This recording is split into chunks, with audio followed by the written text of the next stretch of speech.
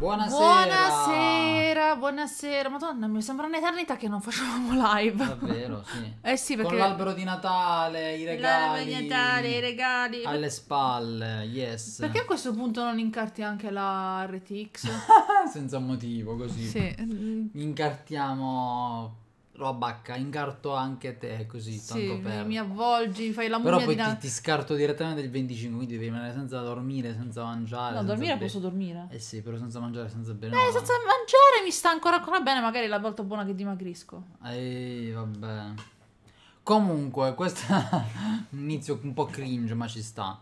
Sera, Claudio. buonasera, buonasera. Claudio. Come va? Come stas, signor? Allora, eh, nel mente che risponde, stasera cosa facciamo? Continuiamo un po' Gardiner. Riprendiamo il giardinetto, come lo chiamavamo Sì, per questo periodo natalizio facciamo, continuiamo un pochettino con la grammatica, poi magari da gennaio vediamo un pochettino di ampliare eh, gli argomenti trattati. Ma sì, io ho una maglia che richiama in parte gli Aerosmith. C'è scritto Dream 01, però c'è scritto Dream On. Bien usted. Ok, grazie. Merci, ehm, perché gli rispondo in muchas gracias? Così, anche se io non parlo spagnolo, eh, so Perché compro- Così, senza motivo. Di visto grazie che parliamo di egiziano. lingue. Grazie, come si dice in egiziano? Non lo sappiamo. Grandi. Non me lo ricordo. Allora ti, lo- ti rispondo in greco, però moderno. Of Caristos, se non sbaglio. Io ti rispondo in giapponese. Cosa devo dire? Grazie. Io ho detto grazie. allora devi dire grazie, arigato gozaimasu. prego. Paracalò e prego. Mi ricordo poche cose in greco. Calimera, buongiorno, calispera, Ah, Calimero, buonasera. sì. Dopo questa io me ne vado. Era parecchio che non facevate la... No, era... no, semplicemente perché la settimana scorsa l'abbiamo anticipata a mercoledì. Su- Eh, sì, sì. Dato che eh, c'era la vigilia dell'Immacolata, invece di farla il giovedì l'abbiamo fatta il mercoledì, quindi abbiamo fatto un giorno più lungo, diciamo la settimana è stata più Perché il lunga. giovedì sera siamo stati Mm-mm. dai suoceri, dai miei, dai miei suoceri, insomma dai suoi genitori e quindi per evitare di dover eh, tornare poi in fretta e furia abbiamo anticipato. E su Twitch che non abbiamo fatto live questa settimana. Sì. Ma è stata una settimana un po' di, di fermento. Al- Nel frattempo è arrivato il bambino, lo vado a recuperare. Arrivo.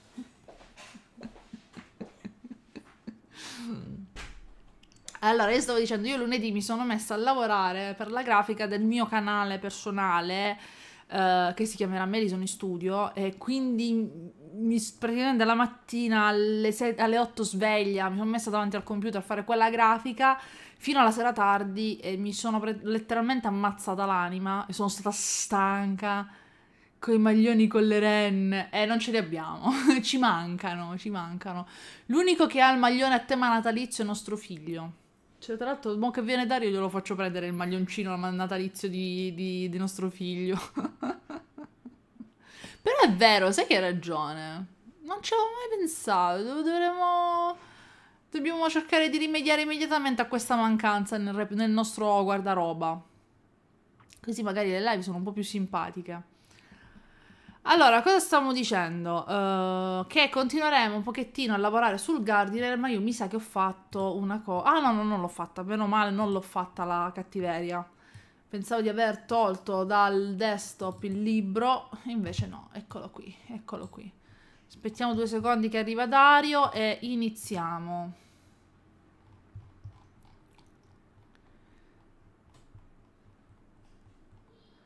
Però, no, non si vedono, peccato, che abbiamo messo alle finestre i, i cosini di, di silicone alle finestre. Babbo Natale, pupazzi di neve, fiocchetti di neve. Oh oh oh oh, oh, la risata di Babbo Natale.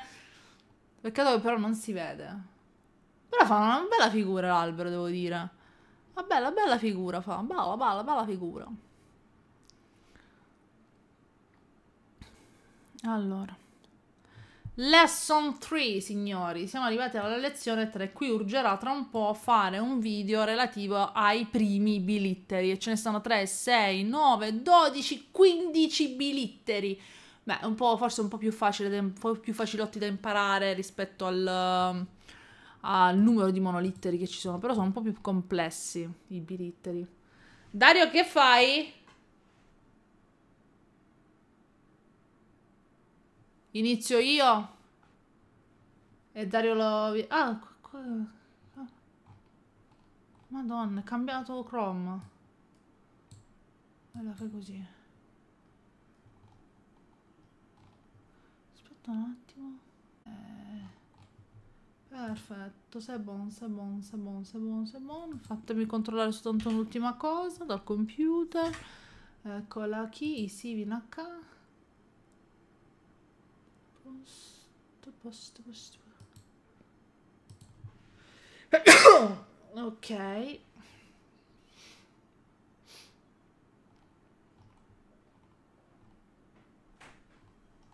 Stai in culla? Sì, gli ho messo un po' di musica. Dalla tv? Sì. Hai fatto bene. Cioè, gli hai messo Gigi praticamente. Ok. Eccomi qua. Se non che. Se non che, allora, ma sì, Ma sì. inizia tu, anarchia. Anarchia. Sì, no, eh, ho già preparato il coso. Nel frattempo... Abbasso il potente. Vai, diciamo. Classroom. Ok. Eccoci a chi? I Sivin H. Siamo alla lezione numero... Per citare Gigi Proietti nel- nei panni del genio di Aladdin. Vabbè. I segni bilitteri. Oh, così belli, segni bilitteri. Lezione 3. Oh, è la prima cosa che c'è scritta. Lesson 3. Allora, lesson 3, io volevo iniziare bene. Allora, siamo arrivati alla lezione numero 3 di Alan Ah, Giardinetto. devi fare tutto il Sì, voglio fare il bravo. Io, ma eh, se no qua che facciamo? Nelle puntate precedenti. Nelle puntate precedenti c'eravamo noi che abbiamo parlato di... che- Esatto. Di cosa abbiamo parlato? Eh, cosa abbiamo parlato Goku e Vegeta erano rimasti. No, eh, volevo dire. Siamo. Aspetta, che risintonizzo un attimo il cervello. Ok, sono sulla stazione giusta. Egittologia. Ah, ecco, bentornato, cervello. Siamo. La volta scorsa abbiamo guardato la lesson number 2. Se vi ricordate, abbiamo eh, visto come fa Gardiner che vi propone un vocabolario di termini. Eh, nel caso specifico, la volta scorsa erano per lo più termini che erano formati con segni monolitteri. Sì, questo qua non la volta scorsa, dall'inizio, di quando, da quando abbiamo iniziato a fare le live, abbiamo parlato dei monolitteri. Perché l'hai messo così? Ordine-? Aspetta. È per far scorrere meglio. Quindi abbiamo visto i monolitteri finora, che sono segni geroglifici che rappresentano un solo suono, e abbiamo iniziato a vedere anche delle prime paroline che si scrivono proprio con i monolitteri. Come Bello, un è- recap utile, dice Claudio. Eh sì, cioè questo unico capo ci vuole sempre. Quindi come per esempio ten, pen, key, cat, im, eccetera, eccetera, eccetera. Un recap un po' troppo veloce, però. Sì, la prima parte, la prima parte l'ho fatta così veloce perché l'abbiamo pe- ripetuta, detta e stradetta mille volte. Ben 14.000 volte. Eh, invece sì. volevo un po' eh, soffermarmi 5 minuti sulla lezione 2 perché abbiamo fatto parecchia roba l'altra volta. Sì, Nella lezione tanto. 2 abbiamo iniziato a vedere, siamo ripartiti dagli ideogrammi o segni senso, come li chiama Gardiner, che praticamente gli ideogrammi sono quei segni che posti alla fine di una, di una parola determinano la sfera semantica a cui appartiene quella parola, come Mhm. per esempio la parola head, fair downstreams, che l'abbiamo vista anche l'altra volta, che significa eh, navigare verso, verso nord, downstream, Eh, no, verso valle, giusto? Sì, letteralmente seguendo il, il corso che Esatto. va giù, Mm, letteralmente. Sì, che navigando verso valle c'è il determinativo della barca e sappiamo che la parola CAD fa parte della sfera semantica relativa alla navigazione. Eh sì. quindi la stessa cosa, depet, capiamo che la parola depet, grazie alla barca, ha a che fare con le- eh, sempre la navigazione e le imbarcazioni. Quindi in questo, in questo caso, caso non è un verbo, ma è un è sostantivo. un sostantivo, sì. Oddio, cacchio è. Mm. Insomma, eh, abbiamo visto questa cosa qui. Poi abbiamo visto che i segni, adesso qui non riesco ad beccare, che i, i segni praticamente, questi determinativi qua, ci sono alcuni segni che possono essere utilizzati anche in maniera ideografica. Spesso li potete trovare scritti da soli, spesso li potete trovare con dei complementi fonetici oppure con un segno diacritico e praticamente eh, significano esattamente ciò che rappresentano, eh, come il sole. Avevamo fatto l'esempio del sole, Ra, che trovato da solo con il diacritico sappiamo che ha a che fare, che cioè, si legge Ra e significa sole. Però... Se invece fosse un determinativo, come nel caso dei vari determinativi, posto alla fine di una parola, sappiamo che i geroglifici che precedono l'ideogramma, o meglio il determinativo del Sole, attengono alle stelle, agli astri, in questo caso al giorno, alla giornata o al Sole. Però in quel caso non vanno letti, però se c'è il diacritico sotto significa che quel geroglifico, quell'ide, quell'ideogramma va, va inteso in senso appunto ideografico, cioè si legge, si pronuncia e, ha il significato di ciò che rappresenta, esatto. quindi è una esatto. funzione assolutamente ideografica. Sì, ma l'esempio di Ra era utile perché Ra è un, una parola che tu la puoi trovare sia scritta o con soltanto il sole, o sole più diacritico, oppure eh, i complementi fonetici, cioè quindi i, i segni er e ein accompagnati dal determinativo del sole mm-hmm. e significano, si leggono t- tutti, tutte queste tre forme, si legge Ra e significa sole. Questo era quello che poi c'è anche Her, faccia, volto, viso. Che può essere... la città. Esatto, oppure Achet, orizzonte. Sa, mm-hmm. figlio, per esempio qua. Tutti questi segni, il sole, la faccia, la città o pizza, tra virgolette, e l'orizzonte, che poi è una sorta di, di valle, eh, valle tra due colline col sole in mezzo. Sono tutti segni eh, che possono essere sia ideogrammi ma anche dei determinativi. Mm-mm. Poi abbiamo visto. Infatti, le città, una città tipo Abegiù oppure Gerti per dire delle città, G. hanno alla fine il, il determinativo della città. della città. Come dire, quel, questo nome è il nome di una città. Esatto. Invece in quel caso Newet da solo è una città è generica. Una città, sì, è un sostantivo. Poi uh, abbiamo detto anche che l'egiziano distingue due generi, maschile e femminile, che di solito il genere femminile termina con una desinenza et, ma possiamo trovare dei casi di parole maschili che comunque finiscono con la et, però questo è un esempio che faceva Borchhaus con la parola chet, che vuol dire ramo. Mm-hmm. Finisce con la et, però non è un sostantivo femminile, è maschile, chet. Mm-hmm. Potrebbe trarre l'inganno perché essendo la, essendoci la T alla fine... Forse anche pot- pet, cioè il, il cielo. Mm Pet. Sì, Ra anche cielo, pet. Ra and Pet, sì. Il cielo, Il cielo è... è... anche maschile, ma finisce con la et. Mm-hmm. Come fate a Salve! Sa- salve, Scout Ron Brigata 76. Buonasera. Uh, buonasera. e quindi stavo, dic- stavo dicendo... Uh, quindi anche come fate a sapere se una parola è maschile o femminile? Soltanto uh, forse di tradurre e incontrare le varie parole lo capirete. Esatto. Ogni tanto devo andare comunque a guardare. Mm-hmm. Poi ecco, questa è una cosa importante. Abbiamo parlato delle eh, dei tipi di frasi presenti nell'antico egiziano. Eh sì, quindi la sintassi. La sin- un po' di, dire. abbiamo fatto un po' di sintassi, abbiamo accennato, abbiamo iniziato ad accennare qualcosa alla sintassi.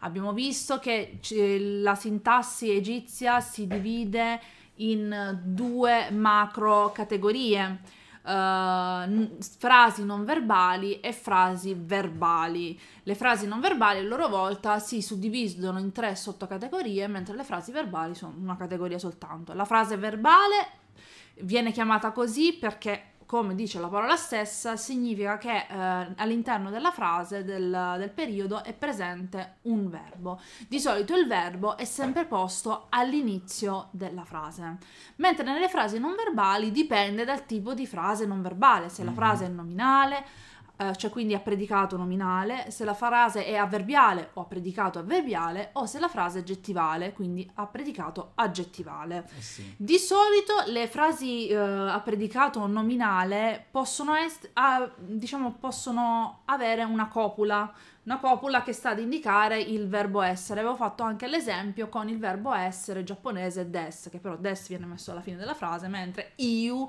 diciamo, il, il verbo, tra virgolette, essere, la declinazione del verbo essere uh, in egiziano viene posto all'inizio. Però questa copula può essere espressa, quindi per esempio uh, ra and pet, io ra and pet, o può essere sottointesa ra and pet, l'esempio proprio sta qui praticamente. Sì, il verbo non c'è, lo, lo desumiamo noi, letteralmente sarebbe ra nel cielo.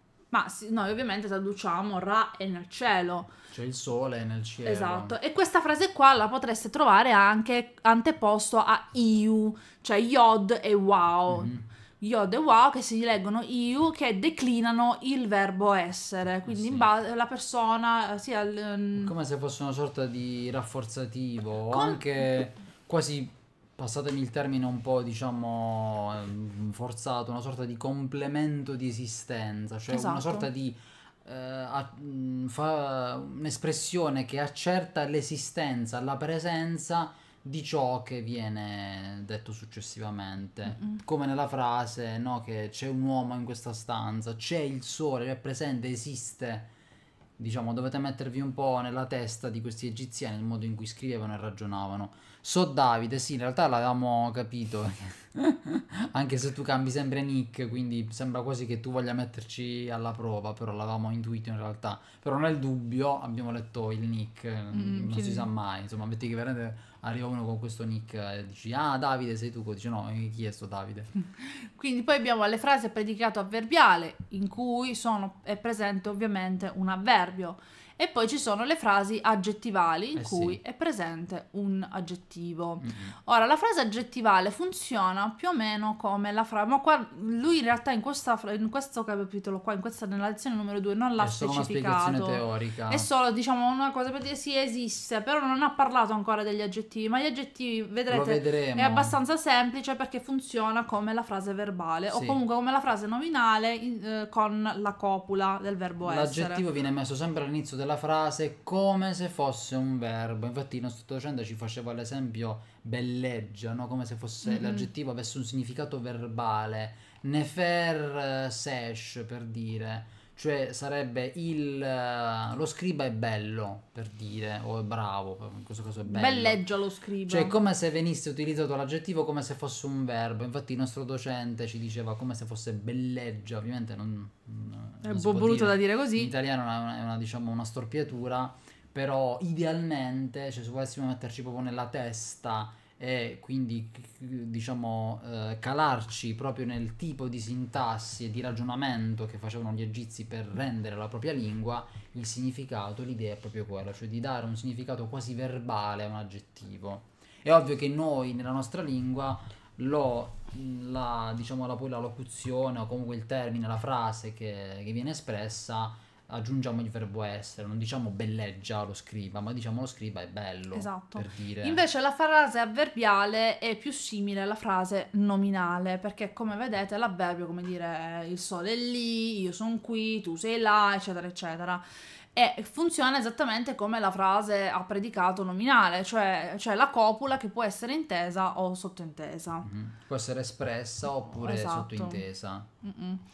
Però queste cose qua vengono poi approfondite meglio nelle prossime lezioni. Eh, Oh, ah, poi abbia- anche dire. eh. Poi abbiamo parlato, vabbè, della frase, questa qua in realtà l'abbiamo ripetuta la volta Sì, scorsa, che è una stessa frase, Musica. può avere vari tipi di traduzione, quello dipende proprio sempre dall'esperienza, il contesto viene dato sempre dall'esperienza. Sì, perché banalmente gli egizi, a differenza per dire della lingua latina, che millenni dopo rispetto praticamente a- al Medio Regno, piuttosto che alla, eh, alla lingua greca, per dire, non ha delle coniugazioni no, dei verbi, né ovviamente declinazioni dei, dei sostantivi, ma tralasciando il sistema, diciamo, di scrittura proprio a livello verbale, non ci sono delle coniugazioni, quindi i tempi verbali non sono espressi, ci sono solo poche tipologie di tempi verbali nella frase verbale. Può essere espresso in maniera precisa il passato o il futuro, mentre la frase che esprimerebbe il presente in realtà potrebbe anche avere un significato passato o passato prossimo o passato remoto o una frase circostanziale piuttosto che temporale o causale o temporale. Non si sa, cioè Ra Empet potrebbe essere il sole splende ah, nel cielo, come il Quando sole il sole splende nel cielo, oppure ah, se il sole splende nel cielo, cioè, o poiché il sole splende ha nel varie cielo, accezioni, o quando la il traduzio- sole, cioè è il contesto che ce lo dà, possiamo solo non, non è che il contesto ce lo, ce lo dà, eh, la frase è quella, però noi in base magari a dove è posto nel contesto il, eh, la frase, noi decidiamo una traduzione che possa collimare con il Eh tutto. sì, diamo un significato logico, ecco, come la questione di quando l'uomo parla, la donna tace, Esatto. che ci sono solo verbo, soggetto, verbo, soggetto, potremmo dire, eh, però viene, viene, potrebbe essere interpretato in questa maniera. Ok, allora adesso iniziamo, entriamo nel vivo della live presentandovi la lezione numero 3 di Alan Giardinetto. Esatto. Quindi Apro inizia... parentesi dicendo per chi volesse... Ah, se ci sono domande scrivete Esatto, in chat. abbiamo fatto un recapone un po' così, un po' veloce, Sì. tutto sommato, però abbiamo, siamo stati un'intera live su questa roba la settimana scorsa, però se ci sono domande noi siamo qui apposta. Mm, Poi se magari il Dario riesce vi crea un bel corso di egiziano, Ah, se riesce. magari durante le vacanze di Natale, se ho un po' di tempo. Io delle idee già ce le ho, poi te le condivido qualcosa. e vedi... Io non Vada. posso più occuparmene del can di questo canale Eh, stai perché già facendo troppe cose.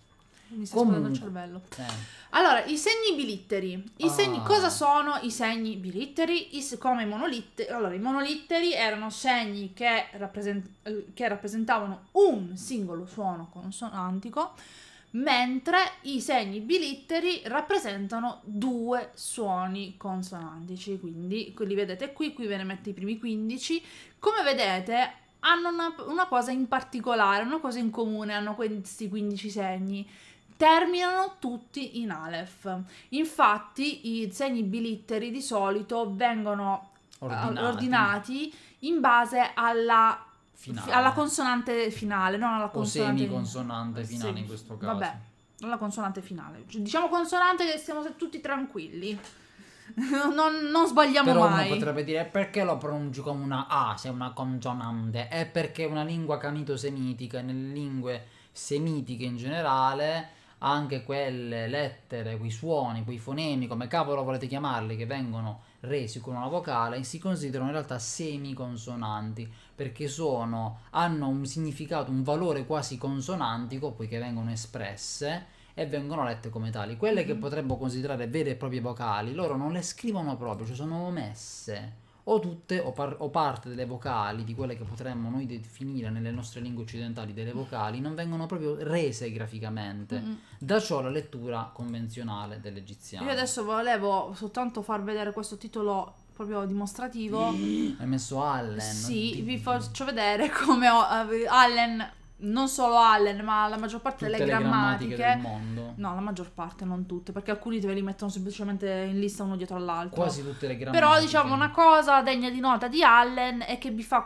specie- questa specie di schema, di tabella in cui c'hai le desinenze, cioè la, la parte finale e la parte iniziale. Esatto. Quindi una- una pa- un segno inizia in Aleph e finisce in wow, au, questo qua. Oppure in Aleph finisce in eb, ab. Oppure pa, come- che inizia con p e finisce con Aleph. eccetera eccetera. Come vedete, cioè, sono abbastanza numerosi i segni bilitteri, quindi Sì. impararli tutti in una volta, prendete la Mi pistola. sembra pa. che Caviglieri dica che sono circa 80 segni. Ecco, questo è, il è il- è un bilittero, cat, che eh, significa proprio ramo, Mhm. ed è questa la parola di cui vi parlavo, che fa l'esempio Borchhaus quando parla dei generi del- dell'antico egiziano. Questo segno qua significa ramoscello, ramo. In eh, effetti è un ramo. si in legge cat perché vedete finisce in net, inizia con la terza H, mm, cat, però è maschile. Mhm. La, la cosiddetta placenta o pane o Mhm. matassa. Allora, quindi i primi bilitteri che vi propone Gardiner da imparare a memoria sono A, che è una, spe- una specie di scetrino. Cos'era la... la- Quel personalmente non me lo ricordo Mm-mm. che cos'è.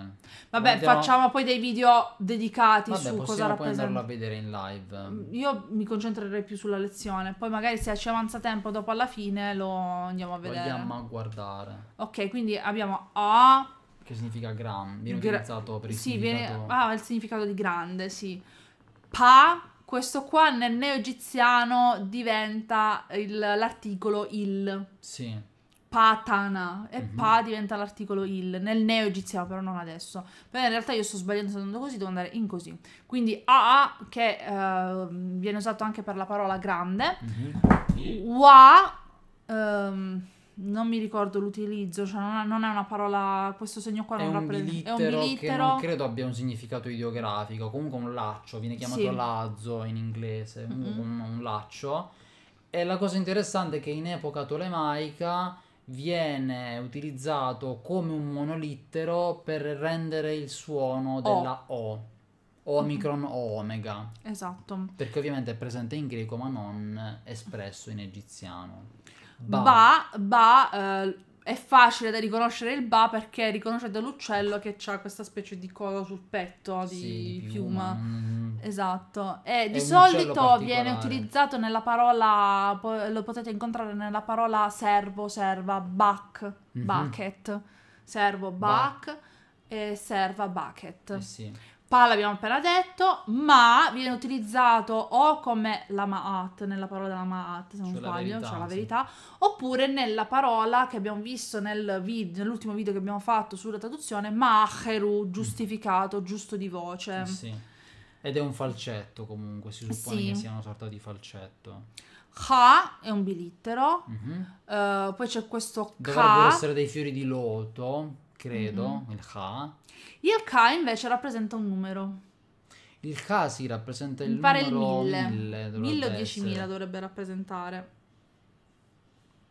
Sì, pare Però è 1000. a, a valore anche bilittero. Sì, ha un come- valore Come bilittero. valore fonetico in mezzo a una parola va letto foneticamente in questa maniera. Poi c'è questa specie di pesce che si legge con la- l'ultima H, la quarta H. Ha. Non vorrei dire cretinate, ma se non sbaglio quella è una tilapia nilotica, Mi cioè un sì. pesce nilotico che non s- vorrei dire fesserino, non credo che non esista più nel Nilo. Cioè esiste ancora la tilapia, ma la tilapia nilotica mi sa che c'era per lo più in passato, adesso non c'è più. Mi Mhm. pare, non mi ricordo.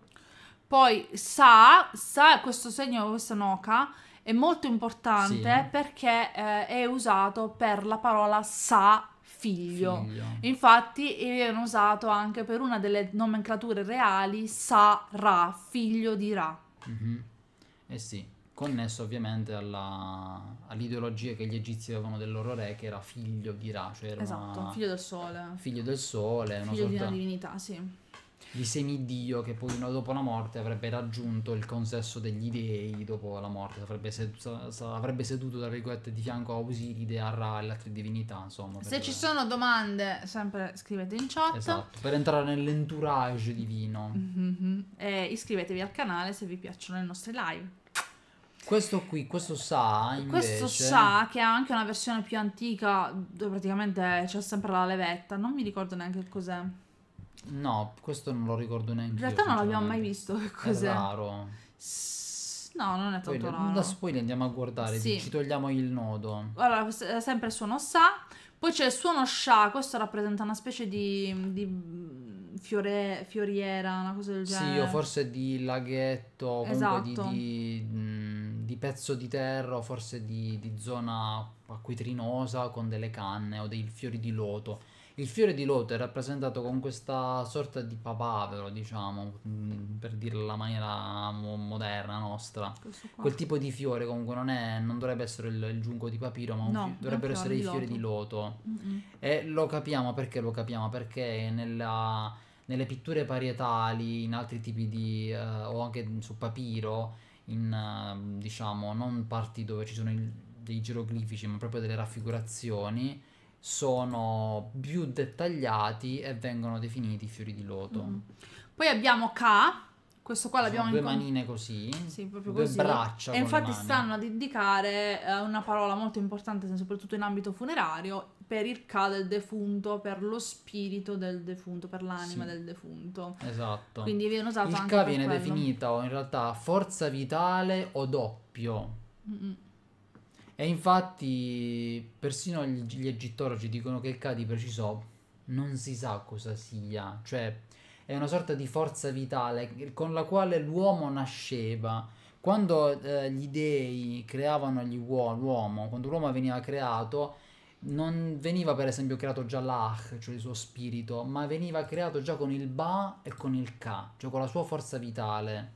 Forza vitale che andava nutrita anche dopo la morte, ecco il perché delle offerte ai defunti, Mhm. dovevano sostentarsi anche dopo la morte. E ci sono infatti immagini o statue di, uo- di uomini con sulla testa queste braccine, Mm-mm. come se fossero due mani protese che in qualche modo ricevono l'offerta. Esatto.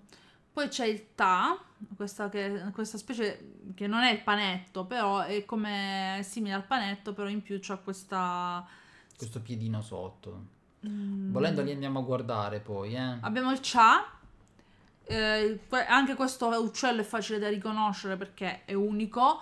E lo, tro- lo incontrate molto spesso nella parola chati, che vuol dire visir, Eh sì. cioè il visir. Noi lo traduciamo con visir, però è come se fosse il consigliere, diciamo. Sì, viene tradotto comunemente come visir. E poi c'è il già. Io direi, dato che è aperto, vai, inizia con il segno A. Sì, che negli strokes possiamo andare a vedere nei segni questi qua. Eh, vediamo un buco. Se lo individui anche tu. Ah, eccolo qua. O29. Il segno del AA. Vai, vai. Buildings.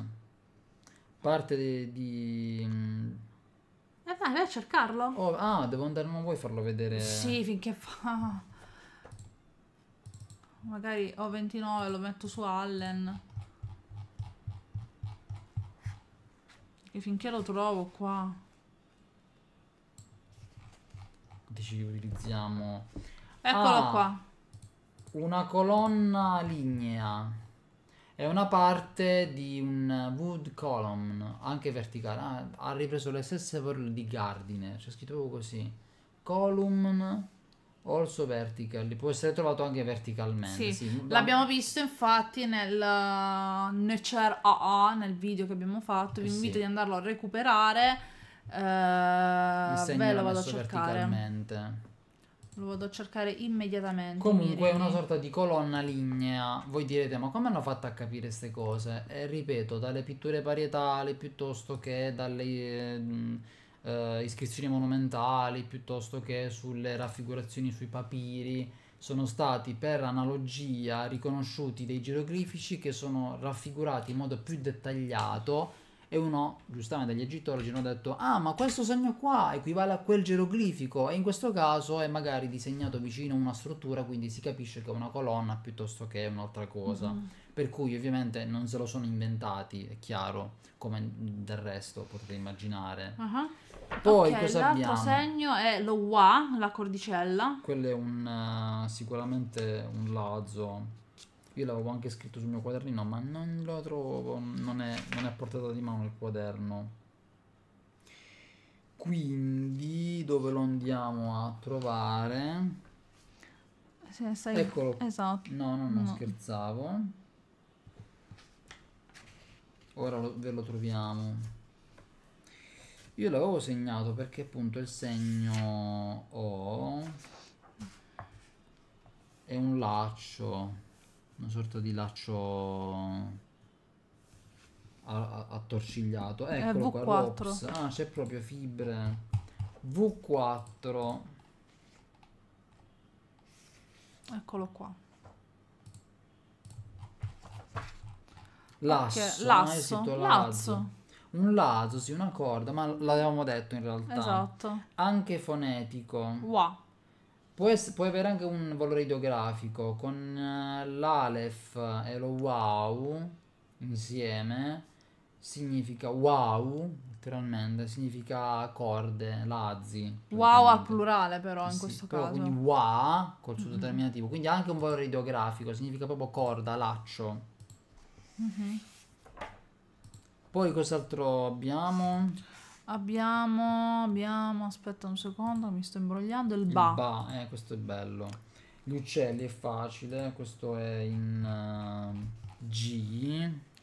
Uh, ba- G21.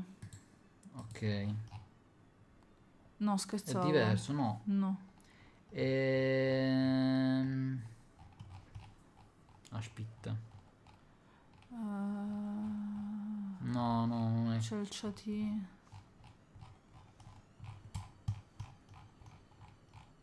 26, 27... 29 dovrebbe essere. Sì, ba. Eh, che vuol dire? Saddle Bill- Billed Stork. Stork, mm, che cos'è? Non lo so, ti direi una fesseria. È un uccello particolare. Cos'è lo stork? Saddle Billed Becco da sella. Stork. Cicogna Cico- dal ah. becco da sella. Che La cicogna. Sto- non, non lo ricordavo proprio che stork fosse la cicogna. Quindi l'uccello ba è interpretato, identificato come fosse una cicogna. Ok. Tutto molto interessante. Poi, Poi abbiamo il Pa. un altro uccellozzo. È, è G40. Pintail duck, eh sì, sarebbe Sì, una, una, una, un'anatra. no, un'anatra che sta prendendo il volo. Un'anatra dalla coda pintail, non so cosa si intende. Certe volte variante del G41. Eh vabbè, Sempre Pa. eh sì. E poi abbiamo il Ma, che è il Sì, sì, è falcetto. Un falcetto. Questo vabbè è un falcetto, non sono sicura. La K piuttosto bisogna vedere. eh, Trees and Plants. Eh, M16. mi- Fucile mitragliatore americano, M16. Vabbè, tanto per dire una cretinata. Prima la M è prima della N. Infatti perché sono la N? Eh, devi andare su. M16. Ah, di papiro. Eh, Pure io pensavo fossero fiori di loto. Un cespuglio, diciamo, clambo. papiro in fiore evidentemente. un Più inteso di- come papiro in fiore. Di papiri, va bene. Mhm. Poi usavon Il K, che è quell'altro. un pescicchio. No, è K- sa- n- no, K4. No, l'altro K. Quale? Questo. Ah, scusami. E M12. Eccolo qua, Loto, loto. ah, pianta di loto. loto, sì, l'avevamo visto. Beh, poi metti Ah, il- vedi, ideografico per pesciazzo. 1000. Ce lo ricordavamo. Eh, vedi, sì. O loto. Lotus. Mm. Eh, il pesciazzo? Eh, K4. Hai saltato, credo. K4 Oxy. Ah, è l'ossirinco. L'ossirinco. Lo sai che lo volevo dire? Sì, però l'ossirinco io ho letto che equivale alla tilapia nilotica, se non sbaglio. Sì, vabbè, lasciamo perdere queste dilungaggini. No, il l'avevo sa. cercato quando avevamo studiato. Il sa, vabbè, abbiamo detto che cos'è questo È qua. un OCAD. Questo qua. Quello dovrebbe essere una parte di costruzione. Mm, vai avanti. Devi andare a controllare un pochettino, eh. Sì. Finiamo questo e vai un po' a controllarlo. E se vado io alla fine. Mm, Puoi cercare anche la sua versione, la sua variante. eh. potrebbe essere un segno non classificato.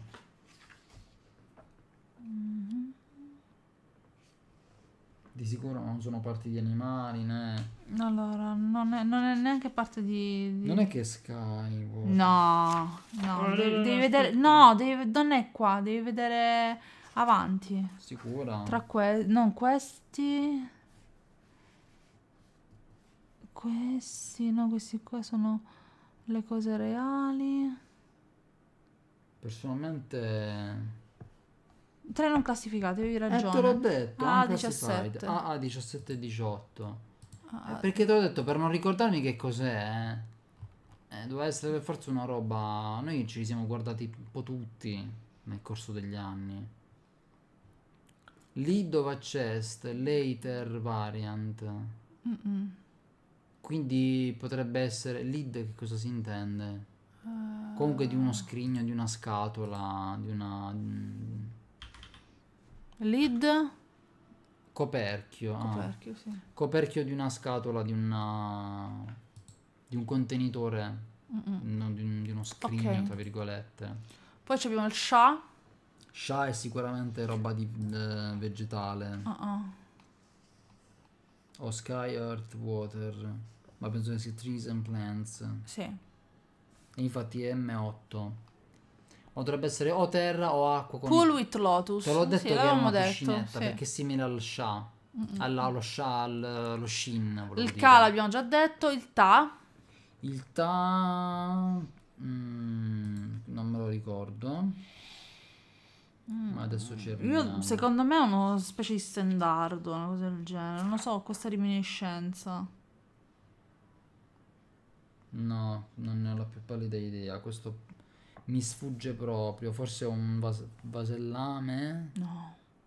No. Non classificato? No. No, no, no, è classificatissimo. Ti Aspetta. garantisco che è classificatissimo. È super classificato. Classificato per le qualificazioni.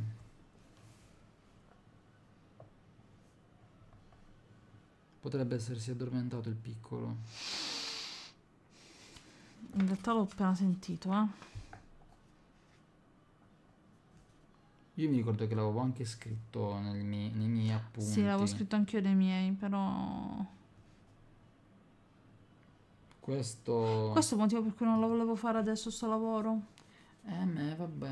Se lo troviamo... Eccolo qua. U30. Ah, agricoltura, craft, professions, perché è microscopico. Kiln. Kiln. Che cacchio è In kiln? inglese no, non conosco tutti i termini. Forno. Forno, madò. Ok, no, questo proprio non me lo È ricordavo. un forno, quindi questo segno qua è un forno. Cioè, è il fosso del fo- il, il- proprio l'ingresso del forno. Evidentemente sì. C'ha, vabbè, un C'ha, tipo di sì, uccellino sempre e già invece un segno, eccolo qua, U28. È sempre roba legata all'agricoltura e cacchi vari, deve essere... Fire drill. Vabbè, capisco, scrivi fire drill. Ma piacere. drill è tipo trivella, Forse potrebbe è una essere... parola composta. Esercitazione antincendio. eh, Può essere un acciarino, una pietra focaia. non, non comprendo, va bene. Dai, va bene così, dai. Abbiamo visto. Sì. Secondo me è tipo pietra focaia. Dimmi quello che vuoi. Boh. Vallo a vedere pure su Gardiner, ma... Fire drill, due che significa? Pillage, ferry e cross, vabbè. No, non capisco cosa intendono, sinceramente. Deve controllare la... Sì. Ok. Pare una fiammella, in effetti. Sì, secondo me può essere pure la pietra focaia, con tipo pietra focaia può essere. Allora, eh, vabbè, questi sono i bilitteri. Carta, penna, ricopiateli con la traslitterazione e li imparate così. Arri- oppure leggeteli. Andiamo avanti. Passi- di questo ne abbiamo già parlato un pochettino nelle volte scorse. I complementi fonetici. I cosa sono i complementi fonetici? I complementi fonetici sono dei segni che possono essere monolitteri o bilitteri che vengono aggiunti ad una parola, ma non vanno letti perché accompagnano o anche per noi, a noi nello specifico, ci aiutano a capire la lettura di un segno multiconsonantico, multiconsonante oppure una, proprio un'altra una parola intera. Qua ci fa vari esempi, come per esempio l'abbiamo visto prima il sha, il segno sha che è un bilittero e c'è il suo complemento fonetico che è l'alef, che però non va letto, perché se voi leggete proprio, le- tra virgolette, letteralmente, leggereste sha-a. In realtà non è sha-a, ma è semplicemente sha. Questo è il complemento fonetico, cioè un segno che accompagna la lettura di un segno con più consonanti, o comunque in una parola, o anche eh, accompagna un determinativo.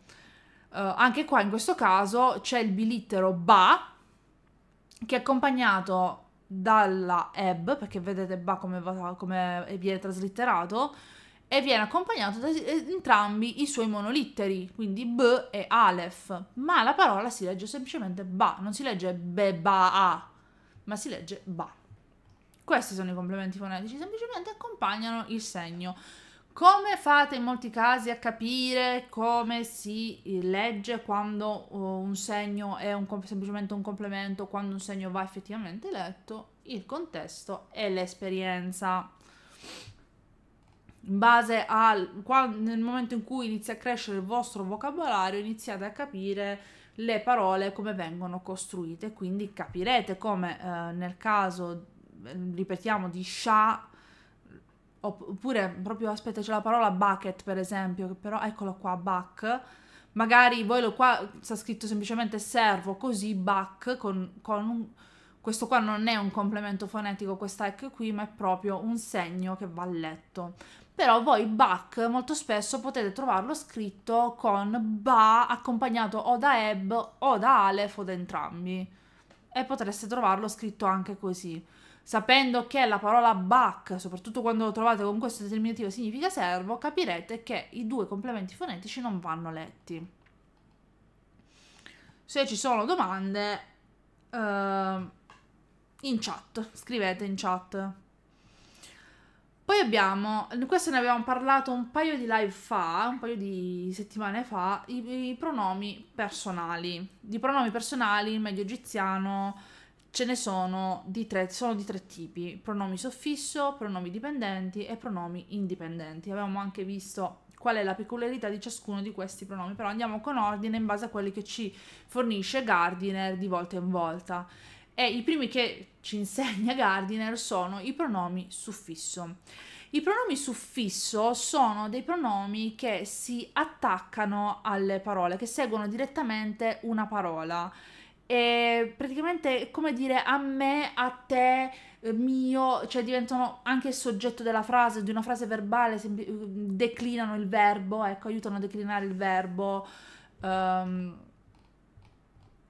non so se c'è qualche esempio. Mm, no, li vedremo comunque degli esempi.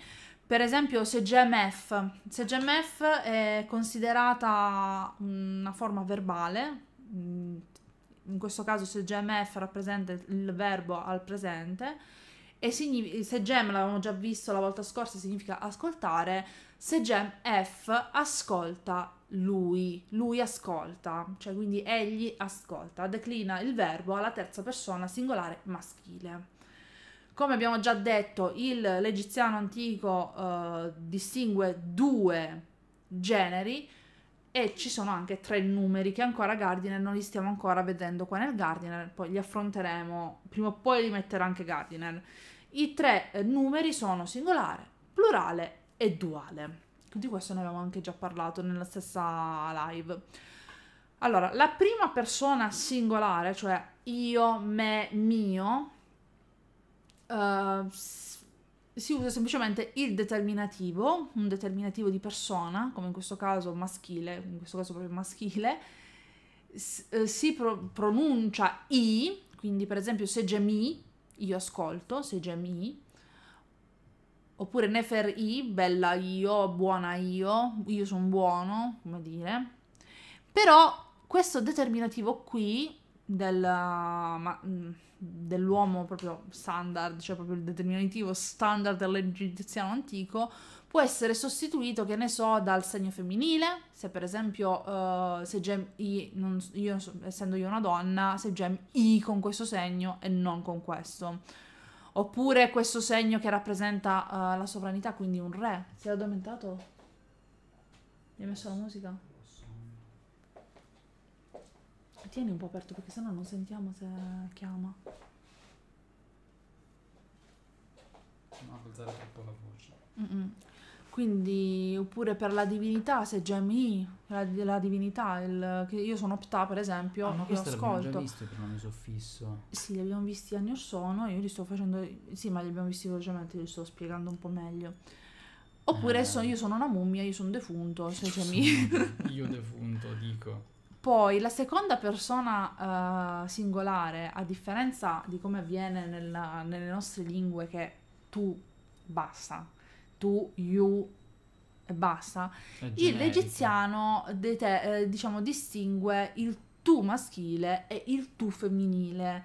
S- eh, per esempio, sempre tenendo in conto il verbo segem, segem ec, tu maschio ascolti, segem ec, tu femmina ascolti. Mm-hmm.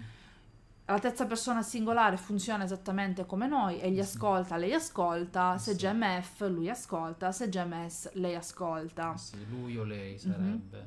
Invece al plurale non c'è una distinzione di genere, ma c'è se- semplicemente se men, che significa noi ascoltiamo, e in questo caso non è come la prima persona singolare in cui il determinativo cambia in base al Sì, soggetto. è noi mummie, noi uomini, noi dei, cioè Mm, è Noi, sempre questo N con i tre diacritici sotto.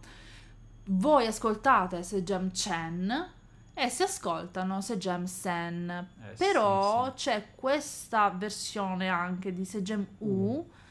che però eh, viene è stata ritrovata nei- nella- durante la diciottesima dinastia, Mhm. quindi è difficile che durante gli esercizi del. Gardiner Scritta anche sì con il wow neo-egiziano, con la Mm-mm. forma, diciamo, quel ciotolino lì, quella, Esatto. Quella sorta di corda intrecciata, come viene definito. un- Però aspetta, io sto dicendo una cavolata forse. Un suffisso successivo, pochi esempi del quale sono trovati agli inizi della Mm. diciottesima dinastia. Ma questa mi sa che è una versione arcaica, però non lo dice lui.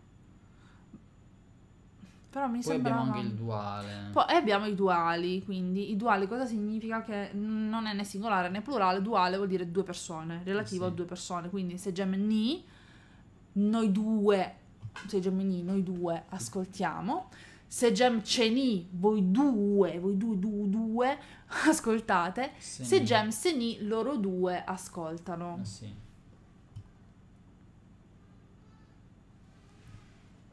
Ti sta chiamando Giardino. Il piccolino. Il piccolino vuole la mamma. E io cosa devo fare adesso? Vado avanti qui.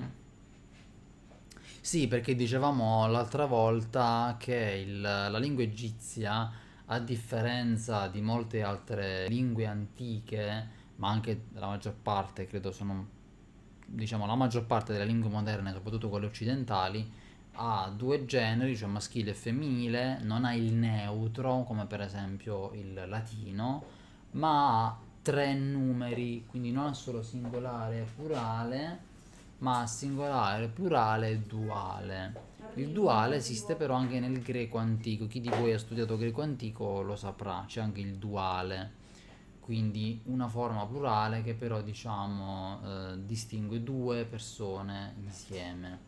Il plurale quindi va da sé che raggruppa i, diciamo, i gruppi di persone o di cose, voglio dire, dai tre, dal numero 3 in poi. Il duale quindi ha una forma, diciamo, a sé stante. Questo si sicuramente si mh, comprende anche dal tipo di ideologia molto dualistica che avevano gli egizi, ma la maggior parte delle culture antiche. Il, il sole e l'oscurità, cielo e terra, il mondo dei vivi e il mondo dei morti, tutto era in funzione di questa dualità, una duplice natura delle cose, la vita e la morte, e il caos, l'ordine, l'acqua, la terra, eccetera, eccetera.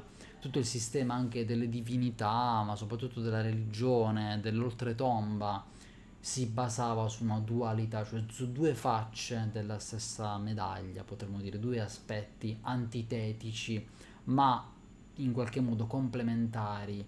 La vita è parte della morte, la morte è parte della vita, la continuazione della vita dopo di essa, dopo la morte.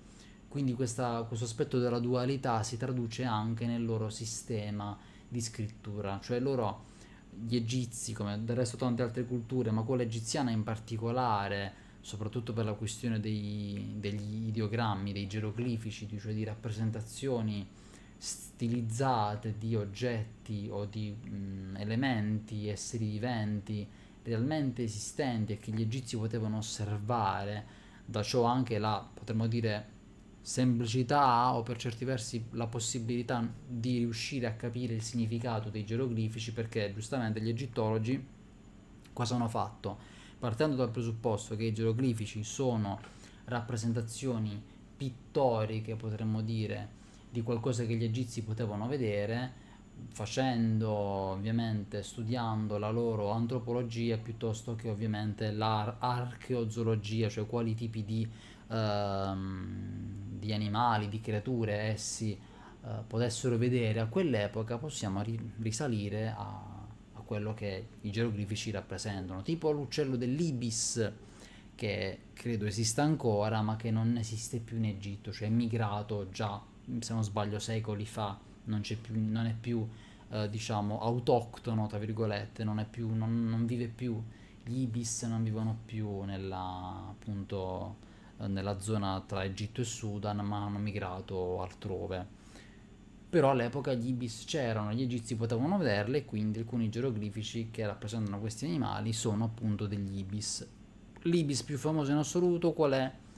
Quella divinità con il becco lungo, lungo, lungo, ossia il dio Tot, che in egiziano si dice, si pronuncerebbe Jehuti, e che è anche alla base del nome di alcuni faraoni, tipo Tutmosis, altro non è che la forma greca di Jehuti Mes, cioè generato da Tot, oppure Tot, il dio Tot, lo ha generato. È ovvio che detto nella, la, la, scrittura appunto Tot, T-H-O-T è una, diciamo, potremmo dire traduzione dal greco, cioè come i greci mh, mm, intendevano questi, queste parole, quindi per, per, tradizione alcuni nomi noi non lo chiamiamo Jacutimes, ma lo chiamiamo Tutmosis, perché ovviamente ci rifacciamo alla tradizione greca di Manetone, per, ma in generale, quindi alla, eh, no, alle nomenclature che lo, li hanno resi più famosi questi, questi nomi, questi faraoni o queste divinità. Tot era l'ibis più famoso, la divinità che gli egizi ritenevano avesse inventato la scrittura a tutti gli effetti, una divinità molto importante. Poi andando avanti con questo, cosa dice Gardiner? Tra questi utilizzi principali del pronome soffisso ci sono i seguenti. Del genitivo dopo i nomi, con il senso proprio di aggettivo possessivo. Per esempio, per F, quindi gli, i pronomi suffisso funzionano eh, come dei, degli aggettivi possessivi per indicare l'appartenenza a tutti gli effetti. Quindi per F significa la sua casa, letteralmente la casa di lui. Oppure Newtsen, la loro città, their city, city of them. Quindi hanno vari significati. È ovvio che legati a un verbo, cioè suffissi posti dopo un verbo, tipo se gem, stanno a significare lui, lei, egli, noi, voi, essi, eccetera fanno questa determinata azione. Però, come vedete, non vengono utilizzati solo ed esclusivamente in accoppiamento dei verbi, ma anche ad altri sostantivi. In quel caso si, eh, diciamo, si esprime l'appartenenza, diventano aggettivi possessivi. Quindi io può essere usato anche come mio, egli, no? Può essere utilizzato S o F può essere utilizzato anche come suo di lui, F, suo di lei, S, eccetera, eccetera. Qui va messo giusto due esempi, ma se ne potrebbero fare a iosa. Poi, dopo le proposizioni, ovviamente, N-I, verso di me, a me, to me, oppure Hena S, insieme a lei, together with her come nominativo con il semplice tenses, ah, con diciamo l'espressione del verbo. Per esempio, Jedek. Tu dici, sei, vabbè, qui un, un inglese Gardiner scrive negli anni 50, quindi è un inglese un po' arcaico. Tu dici, du hast heard. Ad tensis, aspetta, cosa intende in questo caso?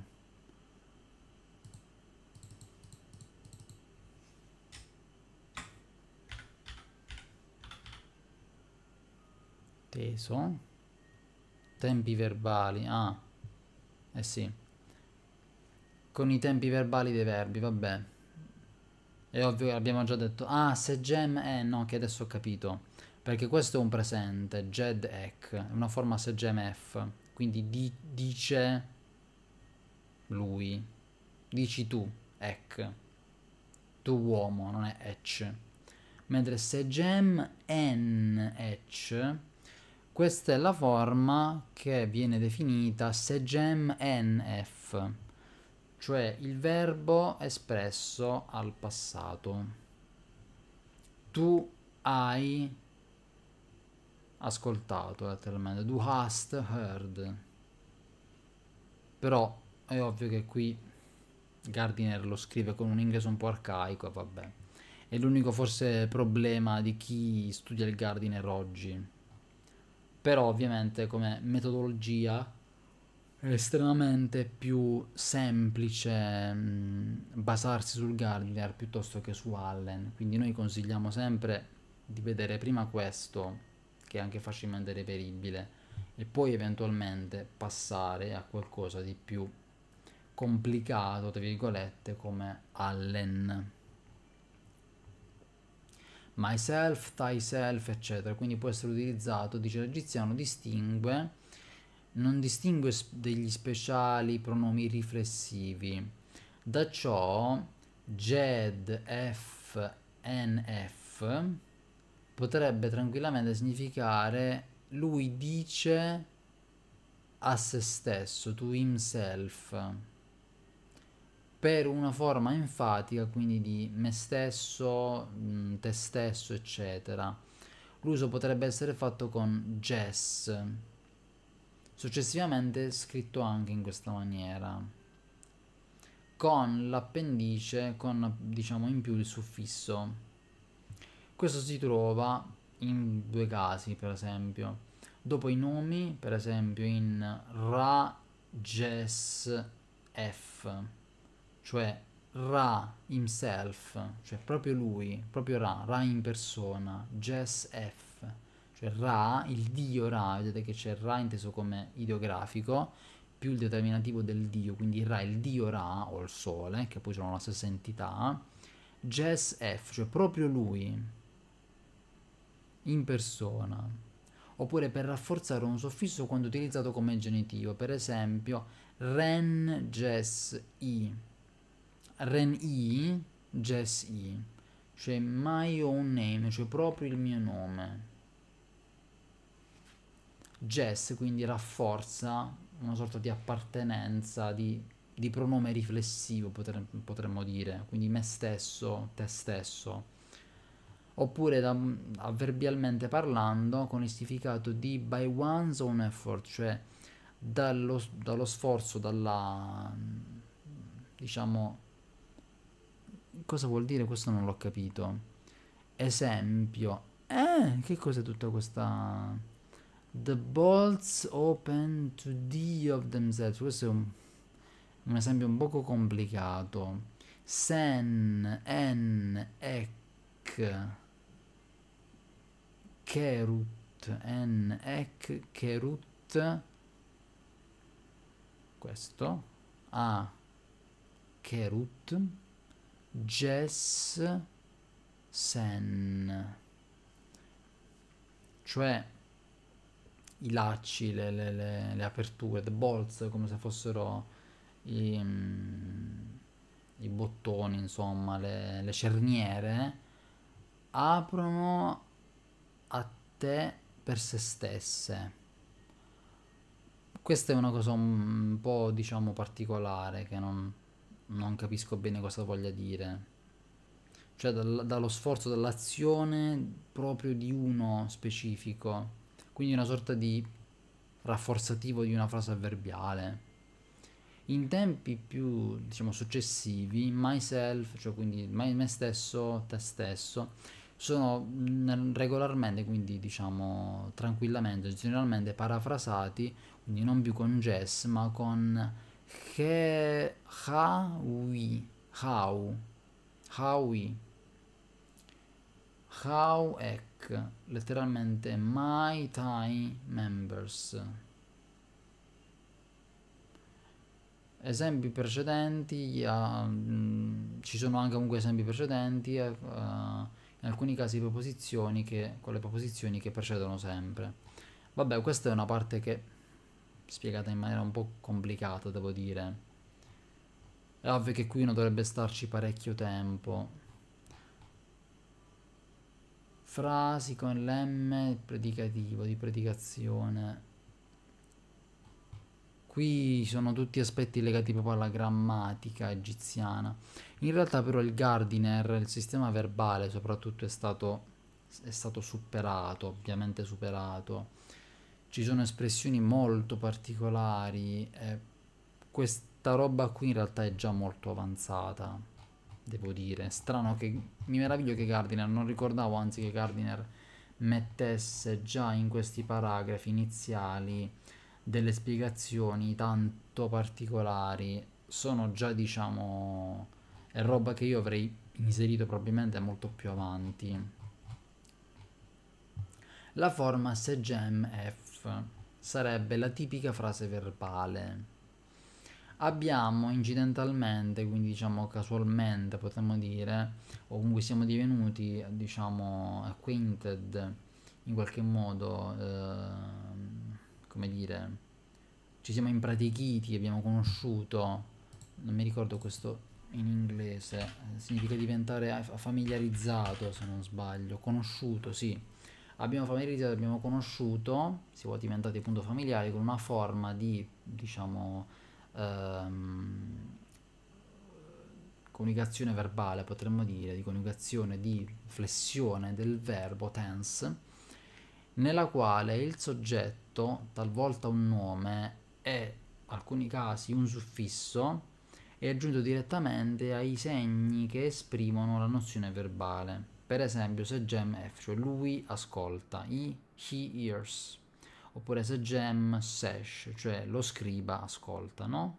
Vedete che il verbo è posto prima, ecco perché se gem F, cioè il verbo il verbo diciamo è, è ovvio che viene chiamata forma segem F del verbo ma è la forma della frase verbale nella quale il verbo che in questo caso è segem come se fosse il verbo più semplice il più diciamo significativo che viene scelto ma chiaramente a esso potete sostituire qualunque altro verbo viene posta appunto utilizzata come mh, esempio della cosiddetta frase verbale. Nel descrivere le varie parti del verbo egiziano è, diciamo, usuale, è tipico, prendere il verbo segem, ascoltare come paradigma modello, quello che ho appena detto. E dal momento che, insomma, seguendo gli esempi della grammatica semitica, precedence over the first, eh la precedenza diciamo sulla prima persona singolare è data sulla terza singolare. Ah, diciamo la, la precedenza sulla prima persona singolare è data alla terza singolare, quindi gli esempi non vengono fatti come nelle, nelle nostre lingue moderne. Io dico, per esempio, io ascolto, ma l'esempio per, in questo caso è una, non è chiamata la segem I, la forma segem I, cioè io ascolto, ma la segem F, cioè lui, uomo, ascolta. Quindi l'esempio, come dire, la, la forma verbale, la flessione, la coniugazione verbale eh, presa a modello non è quella della prima persona singolare, ma della terza singolare. Cosa tipica però delle grammatiche semitiche in generale, quindi anche nell'aramaico, nell'ebraico, suppongo che sia fatto questo, forse anche l'accadico, eccetera.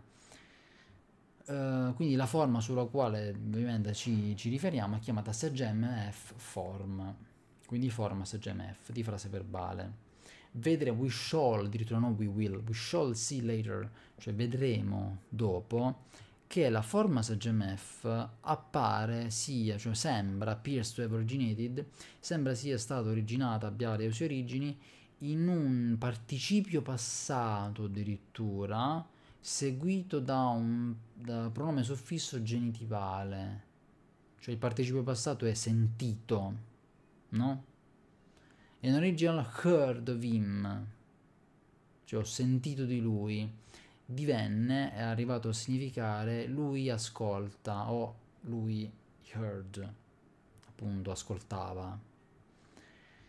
To create the passive, perché era il passivo, la forma passiva del SMGMF, un elemento tu talvolta più scritto, diciamo, scritto più brevemente con solo il t, quindi con l'omissione del wow, tu, è inserito immediatamente dopo la forma, diciamo, the verb stem, cioè la radice del verbo.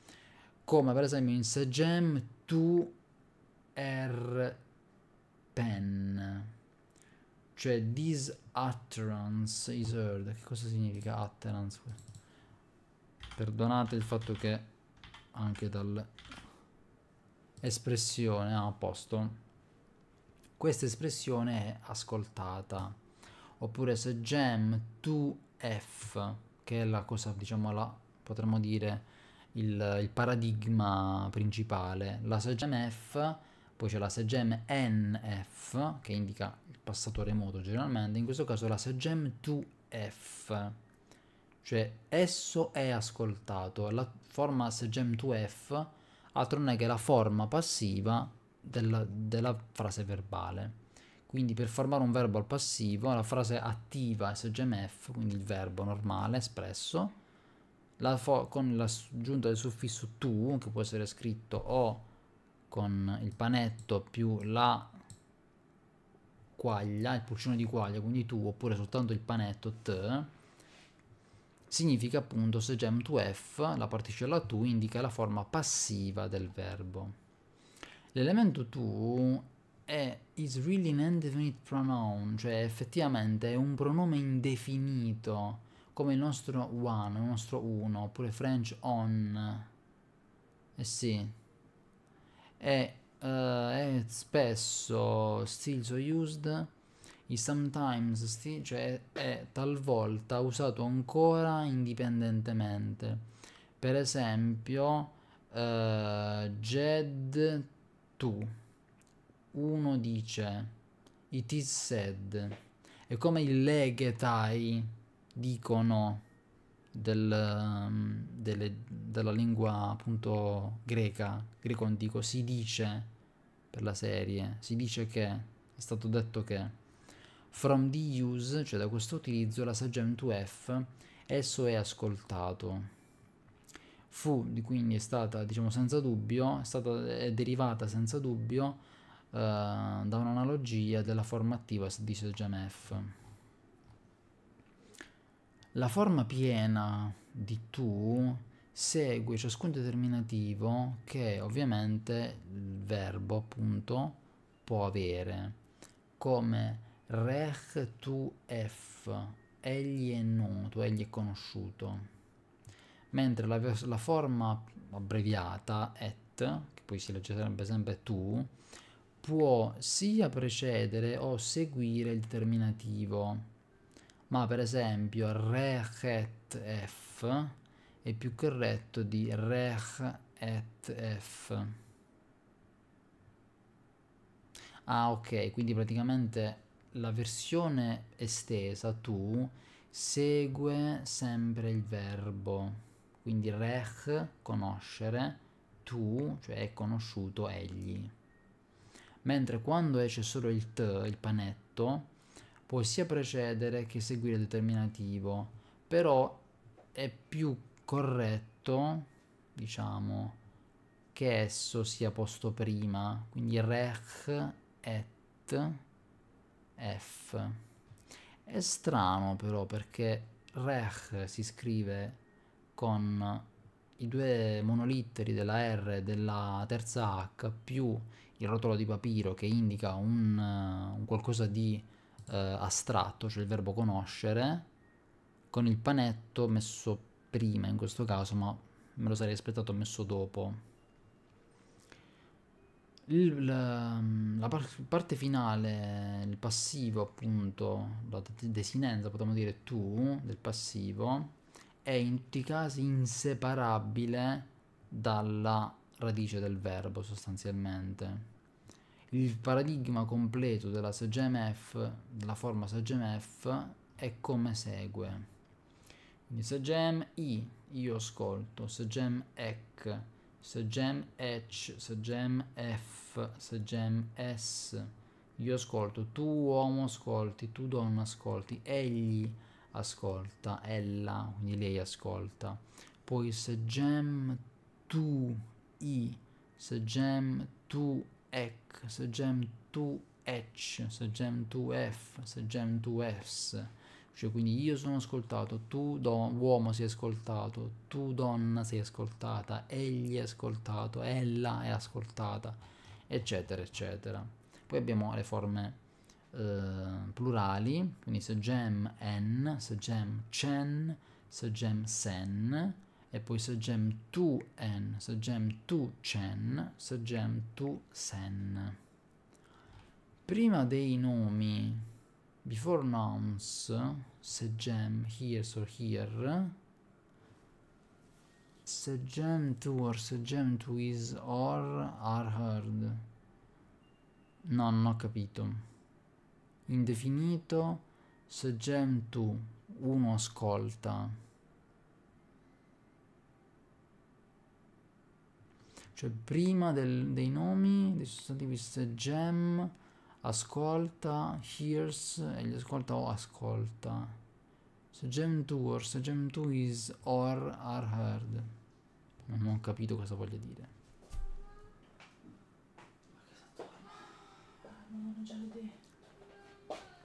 Ma vado un po' io da lui, dai. Sì, ma vedi che non l'ho preso in braccio. Solo che non si addormenta, che cavolo, c'ha paura che me ne vado. No, non si deve addormentare, basta. Ok, cosa stava facendo Dario? Ah, aspetta, eh, non essendoci stata io, non ho... Ah sì, le varie sfaccettature del, del, del suffisso, ok. Myself, itself. Jed F, NF.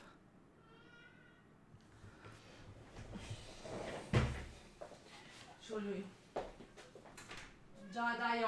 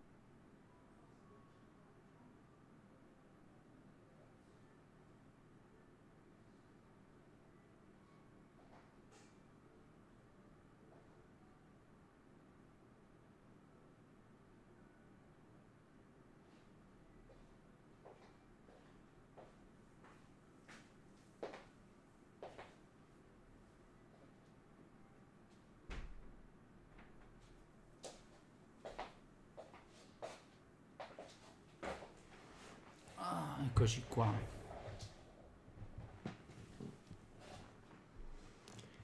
Uh, dove ero? Non lo so più.